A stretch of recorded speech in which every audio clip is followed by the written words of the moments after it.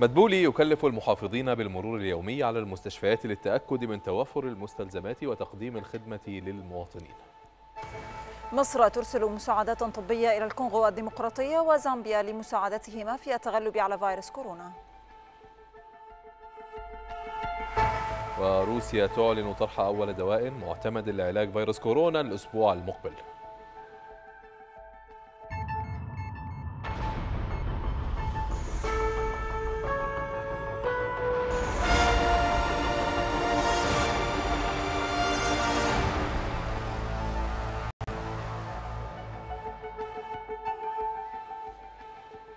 الخامسة مساء الثالثة بتوقيت جرينتش نشرة إخبارية مفصلة تأتي حضراتكم من القاهرة. أرحب بكم. وفي البداية نرجو من جميع المصريين أخذ الإجراءات الاحترازية ضد فيروس كورونا. احمي أهلك احمي بلدك. بداية هذه النشرة مع همام مجاهد. همام. شكرا جزيلا لك نانسي واهلا بحضراتكم مشاهدينا الأعزاء في هذه النشرة الإخبارية المفصلة وبدايتها من القاهرة حيث كلف رئيس مجلس الوزراء الدكتور مصطفى مدبولي كلف المحافظين بالمرور اليومي على المستشفيات للتأكد من توافر المستلزمات وانتظام حضور الأطقم الطبية وتقديم الخدمة للمواطنين. جاء ذلك خلال ترأسه اجتماع مجلس المحافظين عبر تقنية الفيديو كونفرنس كما وجه رئيس الوزراء المحافظين بتخصيص خط ساخن في كل محافظة يتم تفعيله على مدار الأربع والعشرين ساعة لمتابعة استفسارات وشكاوى المواطنين بشأن العلاج من فيروس كورونا وأن يقوم كل محافظ بنفسه بمتابعة أي شكاوى ترد عبر هذا الخط الساخن. لا سيما في حالة رفض أي مستشفى تابع للمحافظة دخول حالات مصابة إليه.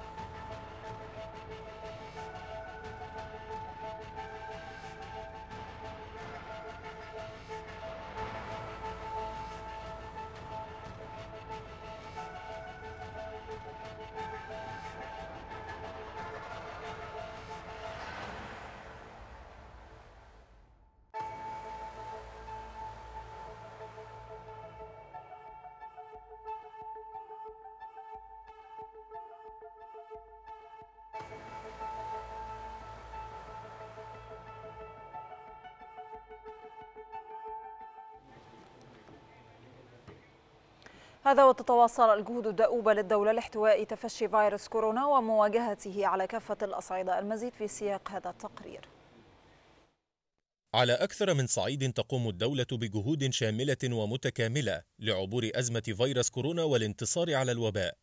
أحدث تلك الجهود تفعيل لجنة الأزمات القائمة بكل محافظة من أجل التأكد من توافر المستلزمات الطبية وكذا وجود الأطقم الطبية وتقديم خدمة جيدة للمواطنين بالمحافظات. كذلك قررت الحكومة وضع ضوابط للمستشفيات الخاصة التي بدأت تشارك في علاج المواطنين من فيروس كورونا، بحيث يكون هناك سقف محدد لتكلفة العلاج، ولا سيما أن الفترة الأخيرة شهدت ارتفاعا مبالغا فيه في تكلفة العلاج والعزل بعدد من هذه المستشفيات. 340 مستشفى تم تخصيصها للتعامل مع فيروس كورونا وجاري تجهيز 36 ليصل العدد إلى 376 مستشفى. فضلا عن توفير نصف مليون جرعة علاج جاهزة لأي حالات حرجة بالمستشفيات وثمانية ملايين جرعة للمخالطين ومليوني جرعة للحالات المصابة وتخضع للعزل المنزلي. وتيسيرا على المواطنين وتوعيتهم بإرشادات الوقاية من الفيروس. تم تفعيل تطبيق صحة مصر والذي تجاوز مستخدموه أكثر من مليون منذ انطلاقه في شهر أبريل الماضي. بالتوازي تساهم المؤسسات الجامعية بدور كبير من خلال المستشفيات والمدن الجامعية المخصصة لتقديم خدمات العزل الصحي والعلاجي لحالات الإصابة بكورونا. وعبر تطبيق صحة مصر يتم تلقي البلاغات عن الحالات المشتبه في إصابتها بفيروس كورونا المستجد حيث تخضع بيانات المستخدمين لشروط حماية الخصوصية. ويتيح التطبيق إمكانية الوصول لأقرب مستشفى ومتابعة المريض خلال فترة العزل المنزلي. احتفلت إدارة مستشفى دمياط التخصصي بشفاء سبع ممرضات وطبيب من فيروس كورونا وخروجهم من العزل الصحي وعودتهم إلى العمل. وأكد العاملون بالمستشفى ضرورة الالتزام بالإجراءات الوقائية لمنع انتشار عدوى فيروس كورونا.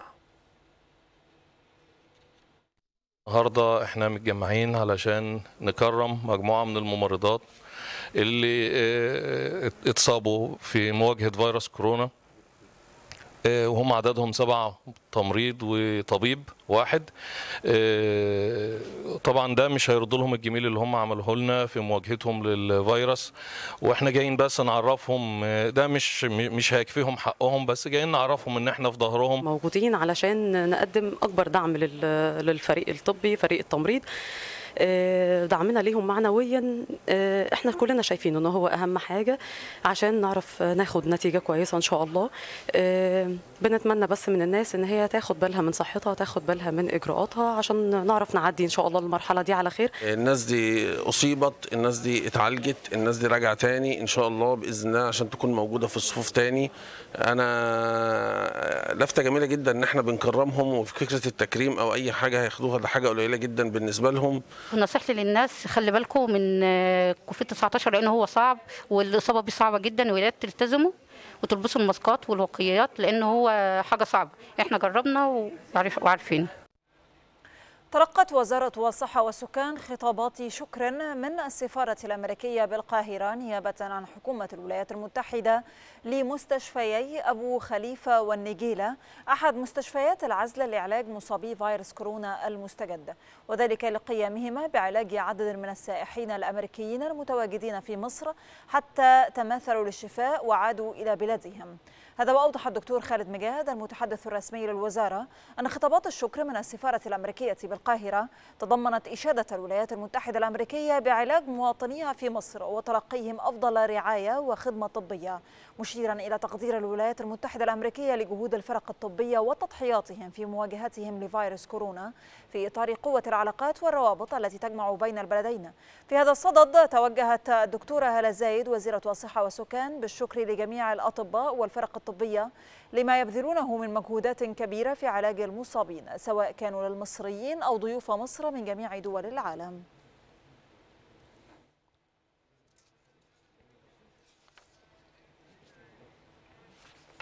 دعا وزير التعليم العالي خالد عبد الغفار المواطنين إلى الالتزام بالوقاية الشخصية بارتداء الكمامات والالتزام بمسافات التباعد الاجتماعي للوصول إلى رقم صفر إصابة.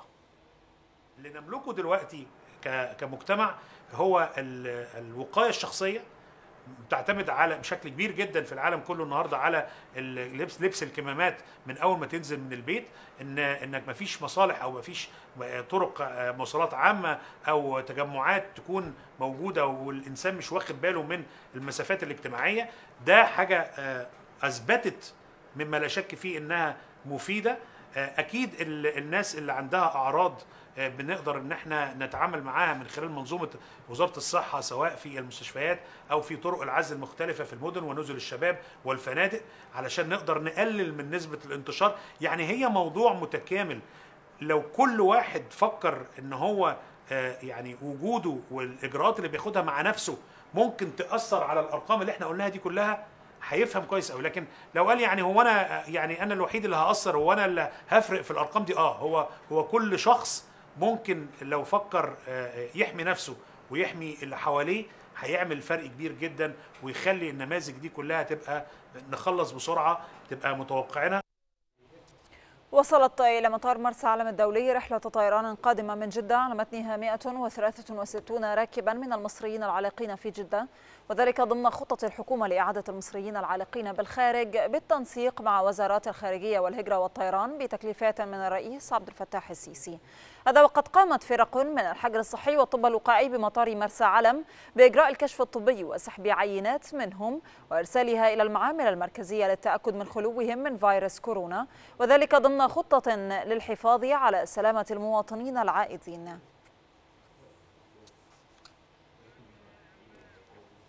واصلت وزارة الداخلية عمليات التعقيم والتطهير الوقائي بكافة السجون وفق البرنامج الزمني المعد كما امتدت أعمال التطهير والتعقيم إلى عنابر النزلاء لتوفير بيئة صحية ملائمة لإقامتهم وبما يضمن عدم انتشار الأمراض.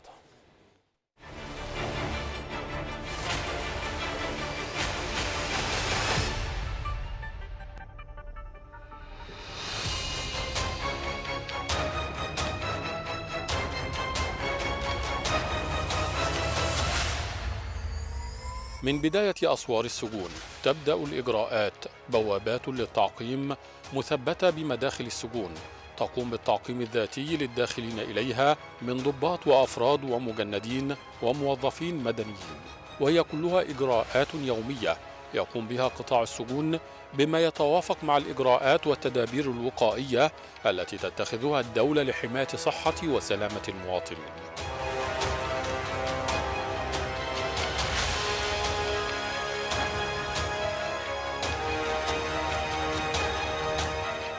ضمن الإجراءات الوقائية داخل السجون.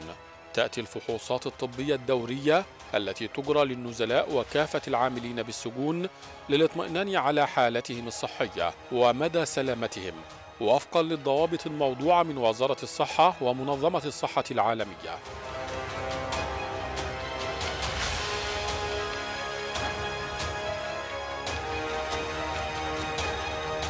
كما تتيح مثل هذه الفحوصات اتخاذ الإجراءات الطبية السريعة لأية حالة يشتبه بها ويملك قطاع السجون تجهيزات طبية كبيرة داخل مستشفياته يتيح له اتخاذ إجراءات الطب الوقائي اللازمة تجاه النزلاء والعاملين بالسجون.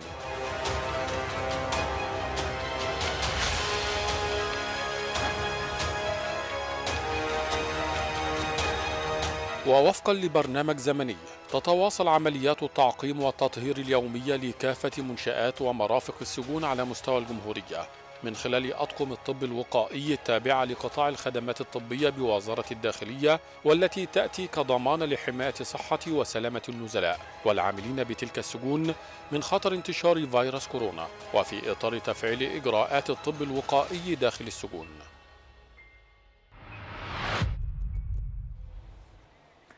أرسلت مصر شحنة من المساعدات الطبية إلى الكونغو الديمقراطية وزامبيا لمساعدتهما في التغلب على فيروس كورونا وذلك تنفيذا لتوجيهات الرئيس عبد الفتاح السيسي. هذا وقد أعرب المسؤولون في البلدين عن بالغ شكرهم الدائم لمصر قيادة وشعبا.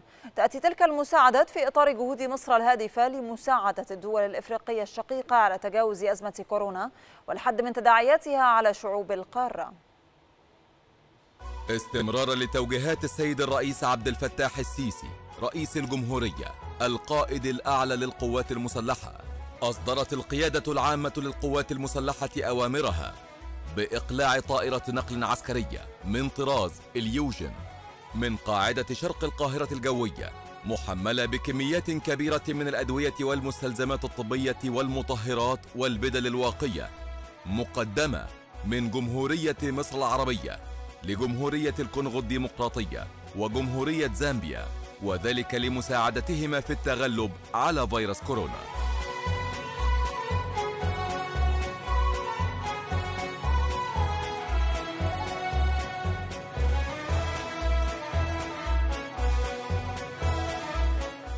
حيث كان في استقبال طائرة المساعدات السفير المصري بالكونغو والسيد ريموند تشيديا باتي نائب وزير الخارجية الكونغولي.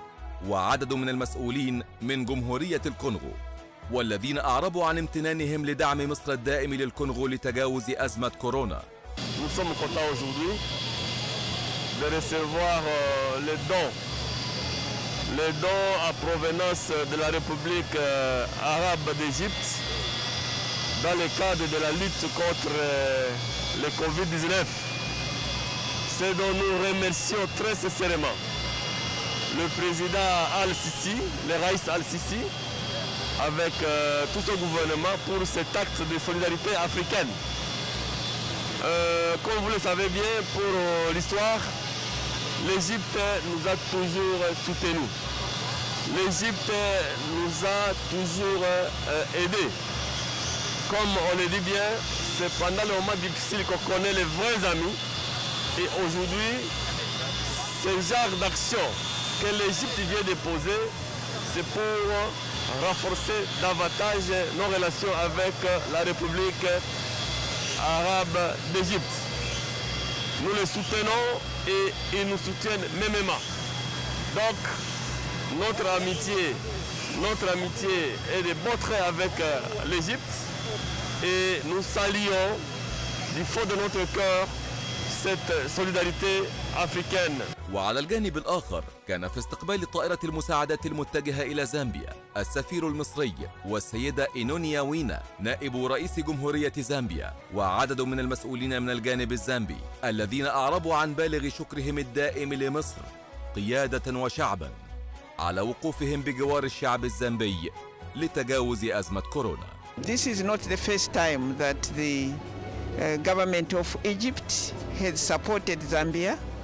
So we are very, very thankful indeed um, to the government of Egypt to show solidarity uh, to the Zambian people in this uh, hour of need for Zambia. And uh, please, we uh, hope you will convey our gratitude to President uh, Al-Sisi of Egypt for this uh, magnificent um, donation to the Zambian government and to help us fight the COVID-19 pandemic.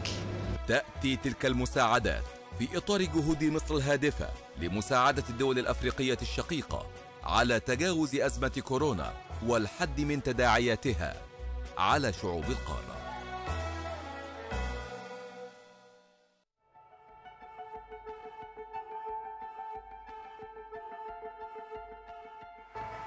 عالية الخطورة ومتوسط الخطورة أم أن هي محدودة في الكويتيين؟ يعني هل ستشمل الأخوة البدون؟ هل ستشمل الأخوة الأجانب العاملين في هذه القطاعات؟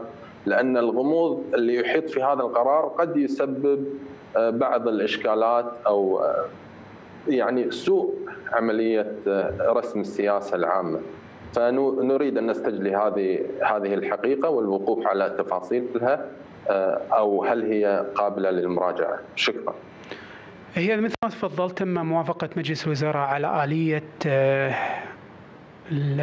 المكافآت العاملين في الصفوف الأولى والصفوف المساندة لجميع العاملين في المؤسسات والوزارات الحكومية. جميع العاملين في المؤسسات والوزارات الحكومية. ديوان الخدمة المدنية بكل تأكيد وضع آليات تفصيلية ضمن الرقابة المالية لها.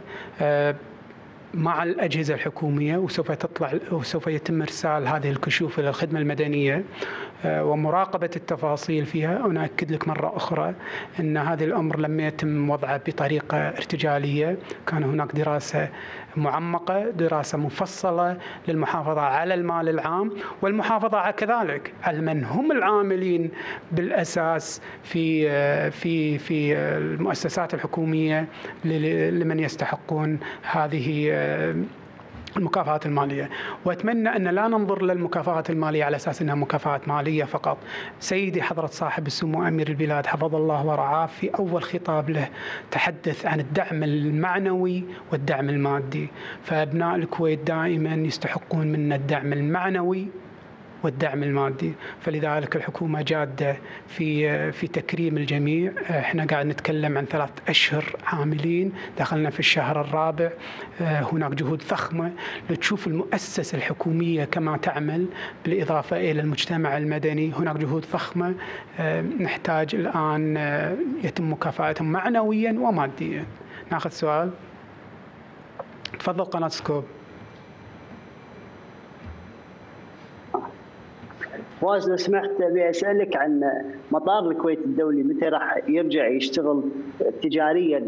آه، فهناك مقيمين يرغبون في العودة والمغادرة وأيضا هناك آه، كويتيين يرغبون في المغادرة لاستكمال أعمالهم في الخارج. آه، شنو الشروط اللي اللي بتتحط أو اللي موجودة اللي تسمح للكويتي والمقيم بالمغادرة حاليا؟ خصوصا إن الجميع يتحدث عن ازدحام كبير صار في مطار الكويت. أمس. فشوهد كو- يعني كويتيين آه، من ضمن المغادرين وليست فقط المقيمين لقانون الإقامة. فشنو هي الشروط؟ وخصوصا هم نسمع في مسجات كثيرة تتداول عبر الواتساب إن المطار راح يرجع يفتح تجاريا آه، 15 7 شكرا. يعني مشكور مرة ثانية المطار موجود ضمن المراحل العودة آه، الآمنة. إحنا نتكلم مرة ثانية مراحل العودة هم خمس مراحل. ونحب نقول مراحل العودة الطبيعية إلى الحياة في دولة الكويت. عندما يرى أو ترى السلطات الصحية في دولة الكويت وموافقة مجلس الوزراء على فتح الأجواء بالكامل أكيد راح يتم اتخاذ القرار. إحنا قاعد نشاهد أوروبا أصلا الآن ونشاهد عدة دول من العالم. الفتح التدريجي لها. إحنا نتكلم مرة ثانية عن وباء. هذا الوباء العالم قاعد يتعايش معه. قاعد يتعايش معه وفق اشتراطات ومراحل معينة هو قاعد يتخذها. فلابد العودة التدريجية لأي طبيعة م- كانت موجودة ما قبل فبراير لابد الحذر منها. مرة ثانية نأكد ونقول كل قراراتنا قاعدة تتخذ للمحافظة على السلطات الصحية في الكويت. عدم إنهاك وإرهاق الصحة في دولة الكويت. مهم المحافظة عليها. فهذه هي الأسباب اللي قاعدة تأخذنا في هذه المراحل وفتح العديد من أوجه الحياة في دولة الكويت. نعرف ونعي أن هناك عدة مراحل أو مؤسسات مطلوب الفتح وهو العمل فيها طبيعيا ولكن ما وصلنا لهذه المرحلة. فلذلك راح نتخذ القرار في وقته ضمن مراحل العودة. ناخذ وزارة الإعلام.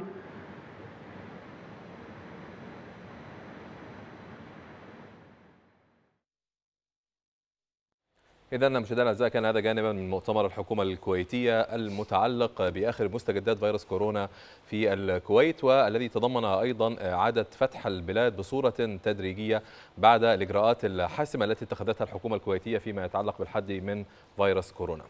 نبقى مشاهدينا الأعزاء مع فيروس كورونا والذي أودى بحياة أكثر من 372 ألف شخص حول العالم منذ ظهوره في الصين في ديسمبر ووفقا لإحصاء وكالة فرانس بريس استنادا إلى مصادر رسمية سجل أكثر من 6 ملايين و182 ألف إصابة في 196 بلدا ومنطقة منذ بدء تفشي الوباء. هذا وتواصل الدول الأوروبية تخفيف إجراءات العزل بعد تراجع إصابات كورونا وذلك على الرغم من التحذيرات من أن الاستعجال في رفع القيود قد يؤدي إلى موجة ثانية من الإصابات بكورونا. تواصل دول العالم تخفيف قيود العزل العام التي فرضها فيروس كورونا المستجد. لتبدأ مرحلة جديدة من التعايش تعتمد على إعادة عجلة الاقتصاد والحياة للدوران لكن وسط إجراءات احترازية لكبح جماح انتشار العدوى. في أستراليا سمحت عدة ولايات بتخفيف قواعد التباعد الاجتماعي بدرجة أكبر حيث أتاحت السلطات للمطاعم استضافة المزيد من الناس كما أعادت فتح المزارات العامة والمعارض الفنية والمتاحف والمكتبات. من جانبه أعرب رئيس الوزراء الأسترالي عن أمله في تعزيز النمو الاقتصادي برفع تلك القيود، مشيرا في الوقت ذاته إلى أن اقتصاد بلاده بحاجة إلى تحفيز إضافي. وفي روسيا سمحت سلطات العاصمة موسكو لسكان المدينة بالخروج للتنزه للمرة الأولى منذ تسعة أسابيع وذلك في تخفيف جزئي لإجراءات العزل العام بعد تراجع عدد الإصابات الجديدة بفيروس كورونا. كما سمحت أيضا بإعادة فتح مراكز التسويق ومعظم المتنزهات أمام الجمهور. وبحسب مسؤولين فإن السلطات ستسمح للسكان بالخروج ثلاث مرات أسبوعيا في أيام يجري تحديدها بناء على عناوين المنازل. أما اليابان فأعادت فتح المدارس ودور السينما والأندية الرياضية والمراكز التجارية في العاصمة طوكيو. يأتي ذلك وسط خطط حكومية بإعادة فتح حدود البلاد أمام الوافدين من الدول التي تسجل مستويات منخفضة في الإصابة بفيروس كورونا مثل تايلاند وفيتنام وأستراليا ونيوزيلندا. وفي الهند التي لا تزال تشهد زيادة كبيرة في أعداد الإصابات بفيروس كورونا تم استئناف رحلات الطيران الداخلية. وذلك بعد نحو شهرين من توقيفها كما بدأت عدة ولايات في رفع بعض إجراءات الإغلاق المتعلقة بفيروس كورونا كجزء من خطة إعادة الفتح على مراحل في البلاد. يأتي هذا بينما سمحت الحكومة الفيدرالية للولايات والأقاليم الاتحادية برفع القيود المفروضة على حركة الأشخاص والبضائع بين الولايات وداخلها فضلا عن رفع القيود عن متاجر البيع بالتجزئة وعمليات قطاع التصنيع. أما الفلبين فعاد آلاف من مواطنيها إلى أشغالهم كما قامت السلطات بتخفيف القيود المفروضة على تنقلات الأشخاص في العاصمة مانيلا والمناطق المحيطة واستئناف عمليات النقل العام فضلا عن استئناف رحلات الركاب التجارية. هذا وبدأت المدارس الابتدائية في المملكة المتحدة فتح أبوابها جزئيا رغم معارضة من قبل المعلمين والنقابات العمالية. يأتي ذلك في إطار انتقال بريطانيا إلى المرحلة الثانية من تخفيف إجراءات الإغلاق والقيود التي فرضت لمواجهة فيروس كورونا. أعلن رئيس الوزراء الروسي ميخائيل موشستين أن الحكومة انتهت من إعداد خطة وطنية لتعافي اقتصاد البلاد من أزمة جائحة كورونا وتداعياتها. والتي ألقت بظلالها على اقتصادات العالم. وقال ميشوستين خلال اجتماع حكومي إن الخطة سوف تسمح بتغييرات هيكلية طويلة الأجل في الصناعة. أحد القطاعات الرئيسية في الاقتصاد.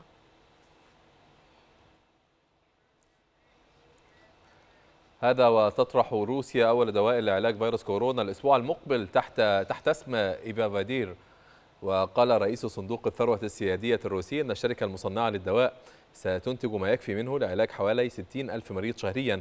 وأعلنت السلطات الصحية الروسية أن النتائج الأولية لاختبار هذا الدواء المحلي على المصابين بكورونا أظهر فعالية بنسبة 90% ولا يوجد حاليا لقاح ضد الفيروس بينما يتلقى المرضى في بعض الدول دواء ريمديسفير في حالات استثنائية أو إنسانية.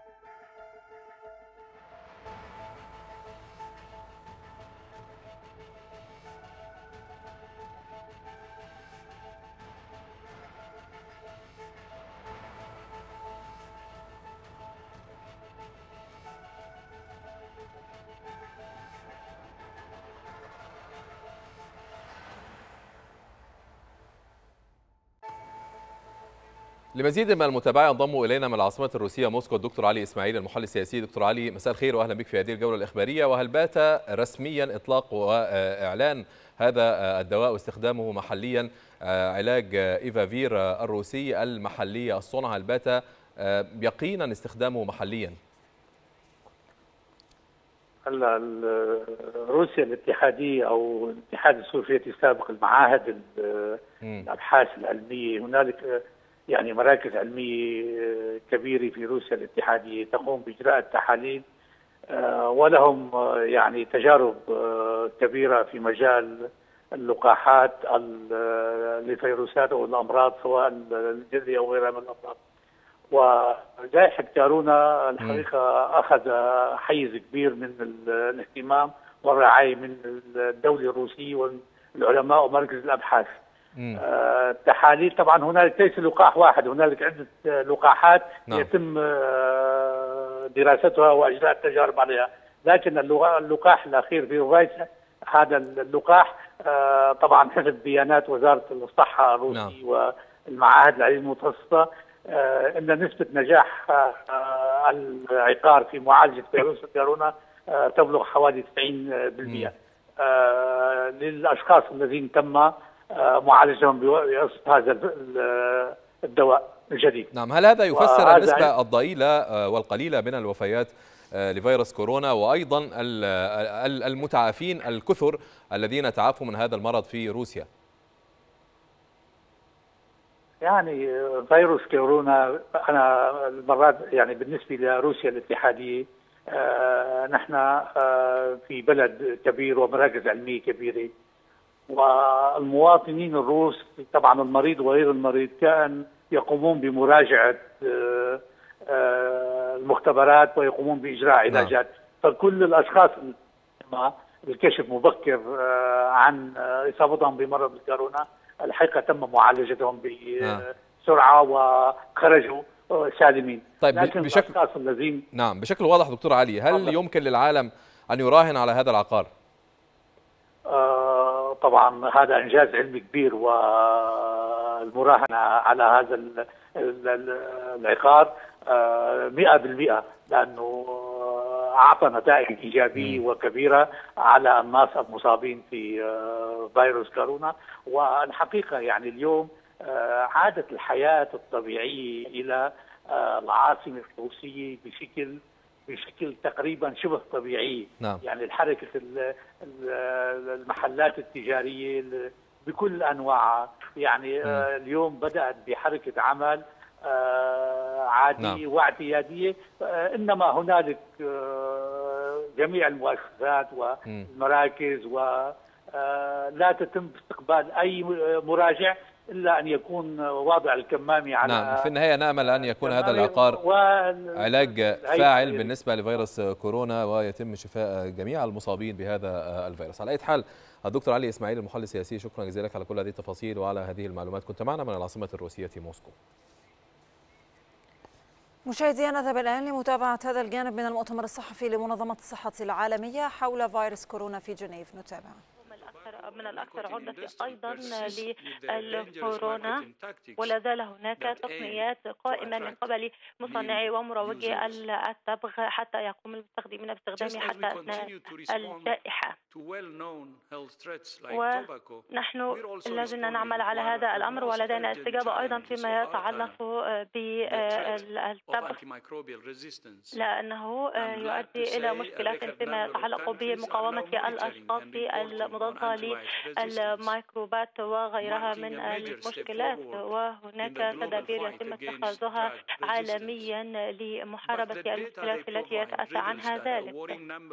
ونحن أيضا نقوم بتقييم الزيادات التي تحدث لمقاومة الأشخاص للامراض بسبب استخدامهم للتبغ ولدينا المزيد من الأدلة الواضحة الآن بأن هذه التبغ يؤثر في كافة ارجاء العالم فيما يتعلق بأسباب المستخدمين له. وهناك كذلك أيضا مشكلة كبيرة فيما يتعلق بالمضادات الحيوية والتي يؤدي استخدامها إلى زيادة المقاومة إلى مشكلات فيما يتعلق بالمقاومة في الجسم وهناك إفراط في استخدامها وهناك تقييم لهذا الأمر. لأنه في النهاية تؤدي إلى مشكلات كبيرة أيضا قد تؤدي بوفاة المريض. وبالتالي فلا بد أن وهي تخلق حاجة في الوقت الحالي كي يكون هناك مضادات حيوية جديدة وتؤثر كثيرا بالسلب على كثير من الأسواق الخاصة بالمضادات الحيوية. ونحن نحاول أن نوجد نوجد نماذج جديدة لكي يكون هناك إبداعات جديدة في إطار التعاون من أجل استجابة لكوفيد 19 وذلك لكي يكون هناك عمل أفضل على المضادات لهذا الفيروس. وفي النهاية سوف يكون هناك مزيد من المقاومة التي تحدث بسبب الإفراط في استخدام المضادات الحيوية وبالتالي لابد من العمل على طرق إبداعية في الوقت الحالي وفي الوقت الحالي في الإدارة السريرية وفي إطار الخطوط الإرشادية التي وضعتها منظمة الصحة فإننا قد وضعنا خطوطا إرشادية لاستخدام المضادات الحيوية من قبل المهنيين العاملين في المجال الصحي فيما وذلك لضبط مسائل المقاومة الميكروبية و للاستخدام بالشكل المناسب. واختتم حديثي بأن أقول انه كان هناك أسئلة فيما يتعلق ب ما يحدث في الولايات المتحدة الأمريكية وما والبيان الذي قد خرج منهم مؤخرا و إن الحكومة الأمريكية لديها الكثير من الإسهامات الكريمة على مدار العديد من العقود للمجتمع الدولي في المجال الصحي. وقد أفادت في كثير من أرجاء العالم. ونحن نأمل أن يتواصل هذا التعاون بيننا وبينهم وأن توصل الولايات المتحدة الأمريكية هذا. شكرا جزيلا بهذه الملاحظات. الآن ننتقل إلى الأسئلة والإجابات وأذكركم بأن تكونوا مختصرين سؤالا واحدا فقط من كل صحفي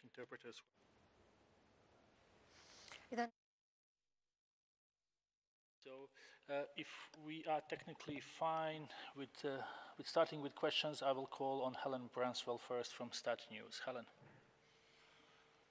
Hi, thanks very much for taking my question. Um, Dr. Tedros, can you please tell us what um, the process is for a country to withdraw from the WHO? I don't believe there's anything in the Constitution that um, spells out a mechanism for withdrawal. Can you please explain? Uh, thank you. I think for the moment, what I have said in my speech uh, would be enough. Um, and for the process, if you need um, additional information, uh, we can do it uh, some other time. Thank you.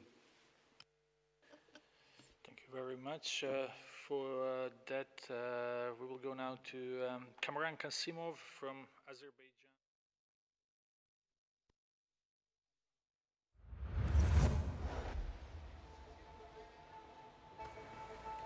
أعلن رئيس وزراء أرمينيا نيكول باش باشنينيان أن نتائج فحوصه الخاصة بفيروس كورونا المستجد جاءت إيجابية. وقال باشنيان على صفحته الرسمية على فيسبوك أن الأعراض لم تظهر عليه وقرر أن يجري الفحص وأضاف أن أسرته بالكامل أصيبت بالعدوى. وسجلت أرمينيا البالغ عدد سكانها ثلاثة ملايين نسمة أكثر من 9000 إصابة مؤكدة بالفيروس و139 وفاة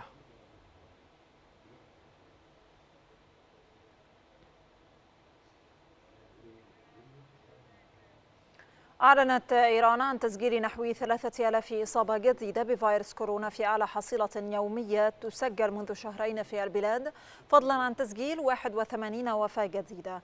من جانبه حذر وزير الصحة الإيراني من أن بلاده قد تواجه موجة ثانية وأشد من حالة الإصابة بفيروس كورونا إذا تجاهل المواطنون الإرشادات وقواعد التباعد الاجتماعي. وأوضح الوزير الإيراني أن تفشي الفيروس لم ينتهي بعد وربما يعود في أي لحظة أقوى من ذي قبله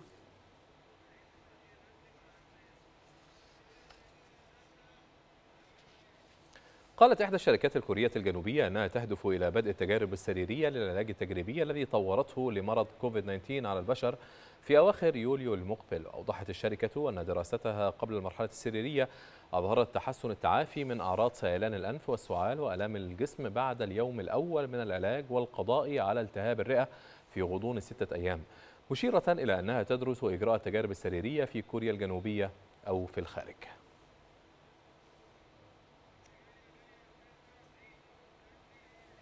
بدأت وزارة الصحة اليابانية في اختبار نحو عشرة آلاف شخص بحثا عن أجسام مضادة لفيروس كورونا. وذكرت وكالة الأنباء اليابانية كيودو أن الاختبارات التي تبحث عن بروتينات معينة ينتجها الجهاز المناعي استجابة للعدوى قد بدأت في العاصمة طوكيو ومياجي وستتبعها أوساكا يوم الأربعاء في محاولة لفهم نطاق العدوى بشكل أفضل حيث تستعد اليابان لظهور محتمل للإصابات مجددا بعد رفع حالة الطوارئ الأسبوع الماضي.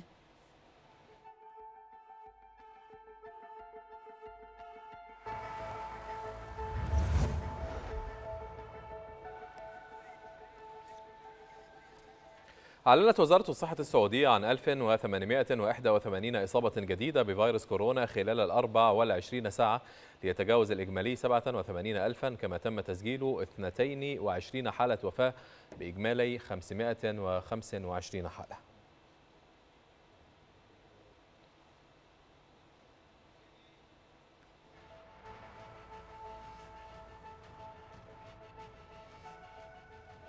أعلنت البحرين عن 516 إصابة جديدة بفيروس كورونا وحالة وفاة واحدة خلال 24 ساعة ماضية.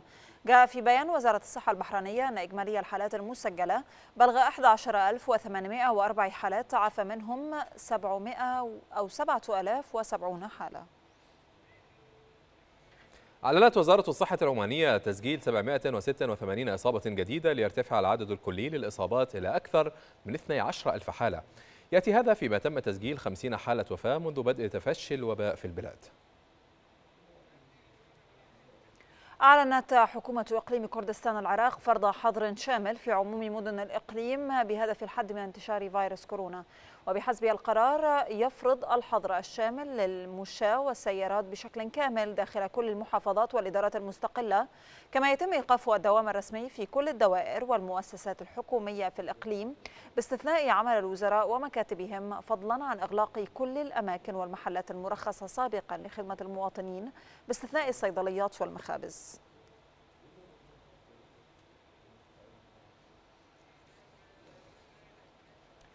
سجلت قطر 1523 حالة إصابة جديدة مؤكدة بفيروس كورونا وأوضح بيان لوزارة الصحة القطرية أنه تم تسجيل حالتي وفاة جديدتين بسبب فيروس كورونا.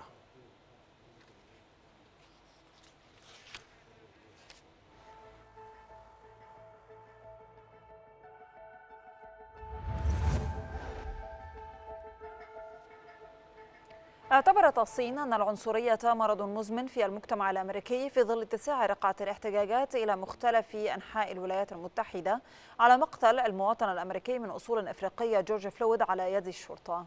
وقالت الخارجية الصينية إن الإصابات تظهر خطورة مشكلتي العنصرية وعنف الشرطة في الولايات المتحدة.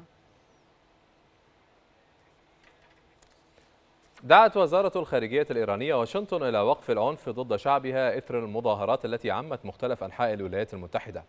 وقال المتحدث باسم الوزارة عباس موساوي أن العالم سمع صوت الظلم ويقف بجانب المواطنين الأمريكيين.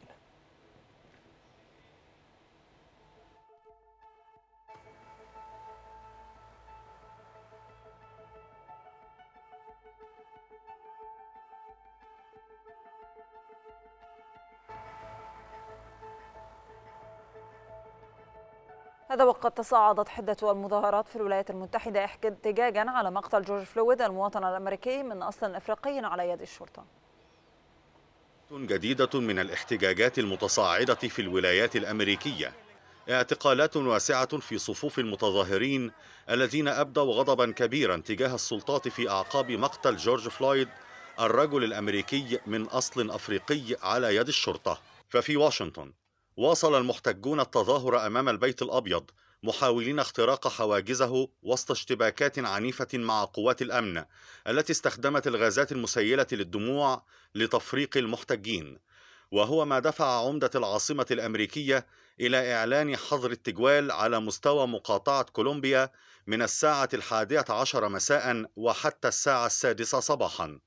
وأمر بوضع قوات الحرس الوطني قيد الاستعداد لدعم شرطة العاصمة كما دعا المواطنين إلى عدم التواجد في محيط البيت الأبيض.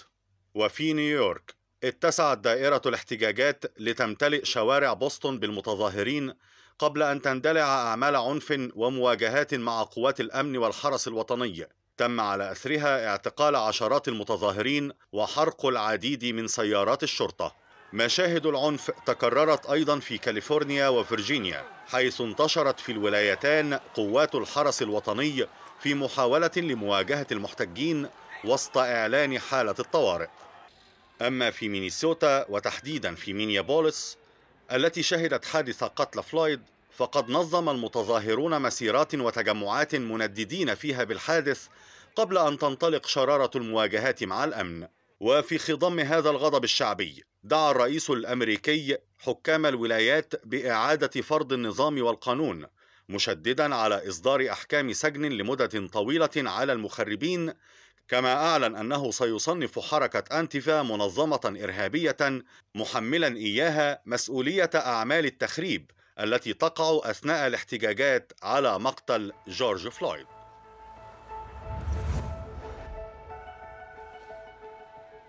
تمكنت وحدات من الجيش الوطني الليبي من إعادة السيطرة على منطقة الأصابع وقال اللواء أحمد المسماري المتحدث باسم القائد العام للجيش الليبي إن ذلك جاء بعد سلسلة من الضربات الجوية لمواقع الميليشيات في الجبل الغربي.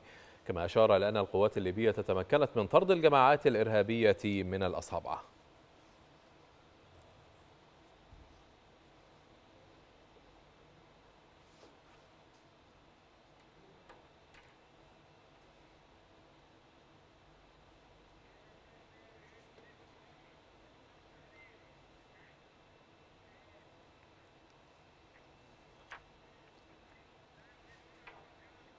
حسابات الربح التي يعلقها أردوغان على الأرض الليبية قد لا تشمل جني ثرواتها في حسب بل ستمتد لتشمل جني المال والمزيد من الصفقات المشبوهة.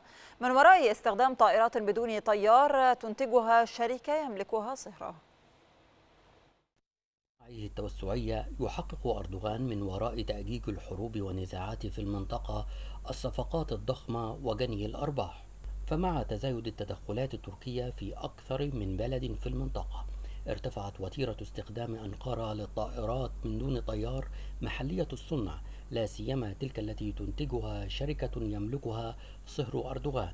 وبحسب تقرير لمجلة دير شبيجل الألمانية فإنه لا يكاد يخلو بلد تتدخل فيه أنقرة بقوتها العسكرية من طائرات برقدار تي بي 2 التي تصنعها شركة مملوكة لصهر أردوغان سولجوق برقدار والذي يلقب بعراب الدرونز. ورغم القرار الدولي بحظر السلاح إلى ليبيا أشارت المجلة الألمانية إلى استخدام الدرونز برقدار تي بي 2 التركية بقوة وكثافة غير مسبوقين في ليبيا لدعم ميليشيات الوفاق. وهذا النوع من الطائرات من دون طيار ليس فقط استخدمته أنقرة في ليبيا فقد تم استخدامه من قبل في سوريا ضد قوات سوريا الديمقراطية وفي العراق وتركيا ضد قوات حزب العمال الكردستاني ويرأس برقدار زوج سمية ابنة أردوغان قسم التطوير التكنولوجي في شركة بيكار ماكينة مستغلا علاقة المصاهرة في الدفع بإنتاج طائرات من دون طيار محلية وإيجاد أسواق لها في مناطق النزاعات. لكن الشركة التي تضخمت فور زواج برقدار من سمية أردوغان تواجه تحديا كبيرا مع إسقاط الجيش الليبي لعشرات الطائرات التركية المسيرة. ثمن رئيس البرلمان العربي مشعل بن فهم السلمي تنظيم السعودية بالشراكة مع منظمة الأمم المتحدة مؤتمر المانحين لليمن افتراضيا غدا. وأشار رئيس البرلمان العربي إلى أهمية توقيت عقد المؤتمر في ضوء التداعيات الصحية والاقتصادية التي تفرضها جائحة كورونا والتخفيف من معاناة اليمنيين. صدق الرئيس الروسي فلاديمير بوتين على إجراء التصويت العام حول التعديلات الدستورية في روسيا يوم الأول من يوليو المقبل وأشاد بوتين خلال اجتماع مع إدارة اللجنة المركزية للانتخابات. أشاد بمقترح موعد التصويت وقال إنه سيمنح إمكانية إعادة دراسة كل التعديلات المقترحة.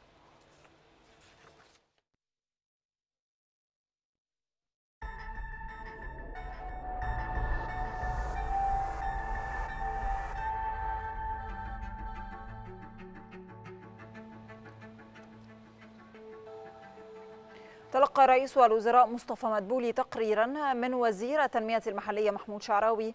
تضمن رصدا لإجمالي ما تم إزالته من تعديات ومخالفات بناء بمحافظات الجمهورية. هذا وشدد رئيس الوزراء على توجيهاته السابقة بضرورة الاستمرار في إزالة جميع المخالفات على الفور دون أي تهاون مع أولئك الذين يستغلون الظروف الحالية لمواجهة فيروس كورونا.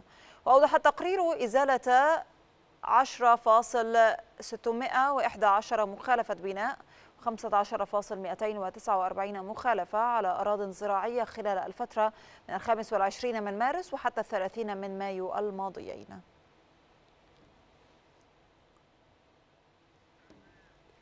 أكد رئيس هيئة قناة السويس أسامة ربيع في مداخلة هاتفية لإكسترا نيوز أن حركة الملاحة بالقناة تسير بشكل منتظم رغم تأثر حركة التجارة العالمية بفيروس كورونا.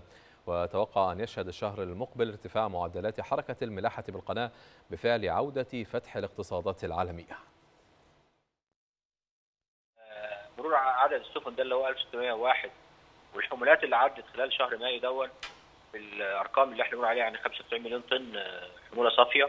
ده نجاح لهيئة قناة السويس ونجاح للسياسة التسويقية اللي إحنا ماشيين بيها. إن إحنا طبعا في الظروف اللي إحنا موجودين فيها دي إحنا كنا سباقين وكنا عملنا بعض المنشورات والمكافآت والحوافز للسفن اللي تعدي في قناة السويس من مناطق معينة زي غرب أوروبا والساحل الشرقي الأمريكي بينزل لغاية الفرق وفعلا إحنا اكتسبنا حوالي 104 سفينه 104 سفينه من 1 4 ل 31 5 زيادة كانتش بتعدي عندنا قبل كده لكن إحنا هنقول برضو إن إحنا عشان برضو إحنا لازم إحنا بنتأثر طبعا بالحالة التجارة العالمية والفيروس كورونا إحنا. يمكن احتمالات نزلت شوية في الشهر ده في مسيرتها عن شهر مايو السنة اللي فاتت يعني بنقول 95 مليون طن كانت 105 مليون طن في 2019 مم. لكن إحنا بنقول برضه إحنا ما زلنا محتفظين بأعداد السفن وبالحمولات بقيم مناسبة طبقا للموقف اللي إحنا موجودين فيه. أتوقع إن إحنا هنحافظ عليه النسبة خلال شهر يونيو ولكن أعتقد إن في النص الثاني من يونيو إن شاء الله نتيجة إن بدأت الدول تفتح الاقتصاد بتاعها وتفتح حدودها يعني والسفن تبدأ تتحرك. ده ممكن يعمل عندنا زيادة إن شاء الله في عدد السفن والحمولات ونقدر نحافظ على المعدل بتاعنا السنة دي زي السنة السابقة بإذن الله.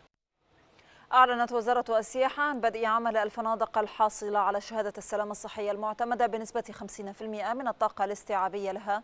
وذلك وفقا لاشتراطات السلامة الصحية الصادرة من الوزارة ومعايير السلامة الصحية العالمية. وقالت وزارة السياحة أن نسب الإشغال بالفنادق خلال أيام عيد الفطر المبارك لم تتعدى 25% وأشارت إلى أنه خلال فترة العيد تم المرور على الفنادق للتفتيش عليها والتأكد من تطبيقها لجميع الاشتراطات. وأضافت أن 78 فندقا حصلوا على شهادة السلامة الصحية قبل عيد الفطر المبارك من إجمالي 172 فندق.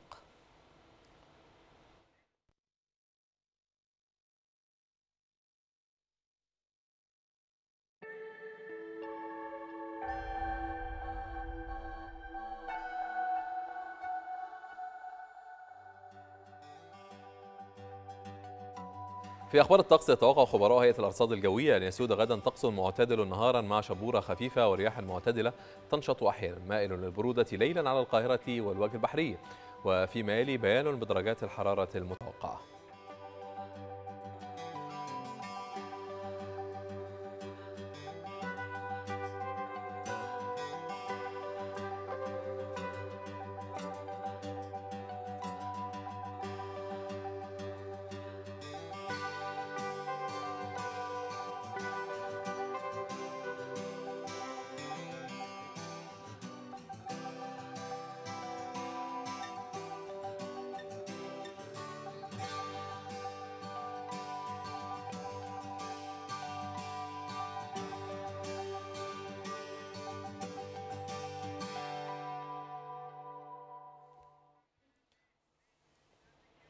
نهاية هذه النشرة إليكم تذكرة بأهم ما جاء فيها من عناوين. مدبولي يكلف المحافظين بالمرور اليومي على المستشفيات للتأكد من توافر المستلزمات وتقديم الخدمة الطبية للمواطنين. مصر ترسل مساعدات طبية إلى الكونغو الديمقراطية وزامبيا لمساعدتهما في التغلب على فيروس كورونا. روسيا تعلن طرح أول دواء معتمد لعلاج فيروس كورونا الأسبوع المقبل.